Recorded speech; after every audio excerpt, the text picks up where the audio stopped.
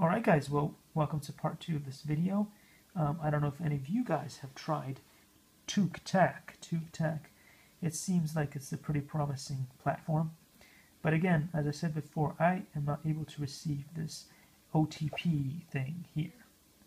Uh, in my email, I tried mul I tried um, setting myself up for uh, logging in with two different emails. None of them will receive this verification code. So if you found a workaround uh, to this and you think this app is a good one, worth me testing out, uh, please let me know. And I will test it out, but as far as everything goes right now, there's not a, anything else that I can really do at this point unless they decide to send me this OTP. So, yeah, I'm going to have to stop it here with this one, and I will continue testing all the other cool apps. Thanks for watching, and I'll see you all the Likey